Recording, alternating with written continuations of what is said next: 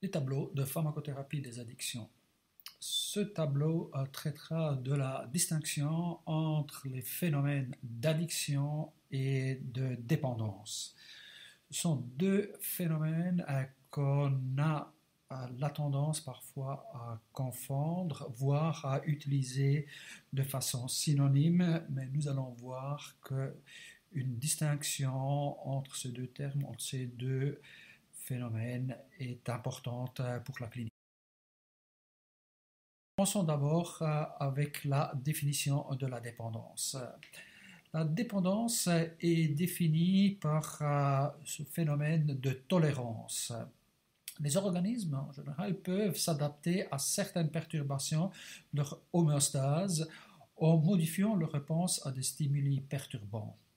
Dans le cas de la consommation de certains produits, des produits pharmacologiques aussi bien que des produits non pharmacologiques, on peut observer qu'après prise répétée, l'effet du produit a, tendance à diminuer. L'organisme développe donc euh, une certaine résistance à l'effet du produit consommé.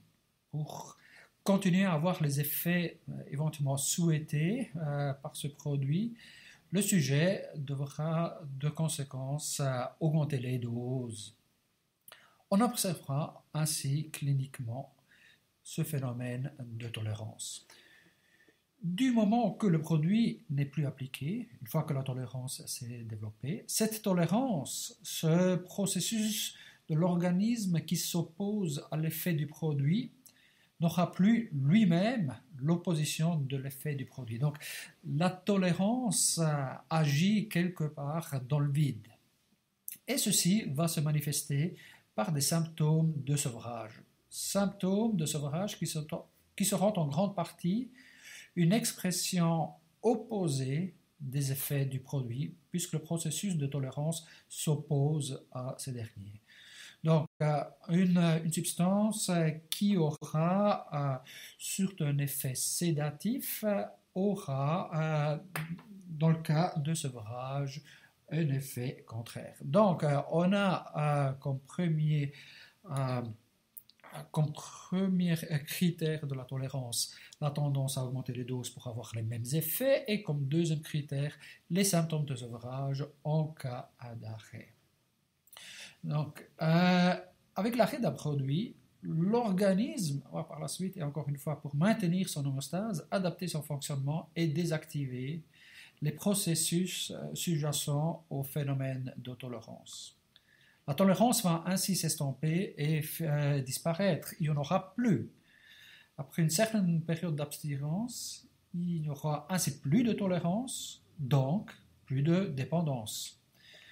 Il s'ensuit que le traitement de la dépendance consiste normalement dans le sevrage et le maintien de l'abstinence, donc dans l'accompagnement éventuellement euh, des symptômes de sevrage et dans le maintien de l'abstinence. Du moment qu'on est abstinent, on n'est plus dépendant. Abstinent à long terme, bien sûr. Maintenant, euh, l'addiction est un phénomène qu'il faut clairement distinguer de la dépendance ce n'est pas la même chose. C'est un phénomène qui peut exister sans dépendance, comme la dépendance, d'autre part, peut exister sans présence concomitante d'une addiction. Ainsi, on peut observer des dépendances aux antalgiques opiacés sans qu'il y ait tolérance, avec parfois des syndromes de sevrage clairement reconnaissables, sans, euh, sans pourtant induire des addictions. C'est la même chose pour les antidépresseurs. C'est quoi donc euh, une addiction?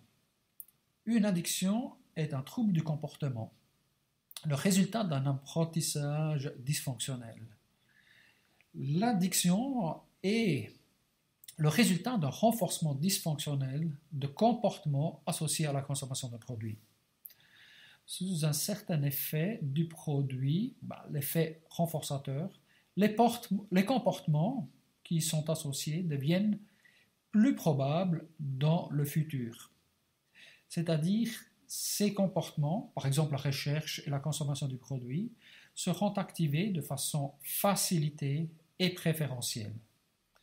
On va parler éventuellement de comportements automatisés, comportements qui nécessiteront peu de ressources cognitives, qui seront lancés sans qu'il y ait besoin d'une décision consciente. Le propre, maintenant, de tout produit addictif est d'avoir un tel effet de renforcement de comportement, un tel effet d'automatisation des conduites. On pense aujourd'hui qu'au niveau neurobiologique, ceci soit principalement dû à une activation de certains systèmes dopaminergiques, donc euh, que la dopamine soit impliquée. En fait, tous les produits addictogènes, que ce soit des substances, par exemple l'alcool, ou des stimuli environnementaux, par exemple le hasard, dans le jeu d'hasard, ont d'une manière ou d'une autre un effet sur ces systèmes, augmentent d'une façon ou d'une autre la libération de dopamine. Quelles sont donc les conséquences de ce renforcement comportemental? On aura d'une part un investissement accru dans ces conduites euh, renforcées, dans ces conduites euh, à la fin probablement addictives, et euh, un investissement en temps, un investissement émotionnel, éventuellement un investissement financier dans le cas de certaines, certaines addictions. Si on investit beaucoup dans un comportement, à un certain moment, il peut y avoir que des conduites alternatives euh, vont être euh, négligés. Donc, l'investissement dans certains comportements se fera au détriment de comportements potentiels alternatifs. Jusque-là, ces descriptions pourraient en fait définir ce qu'on appelle habituellement une passion. Une passion qui serait un investissement particulier dans une activité au détriment d'autres. Tant que ceci survient selon le raisonnement de la personne, donc tant que la personne le veut de façon raisonnée, on pourrait parler de passion.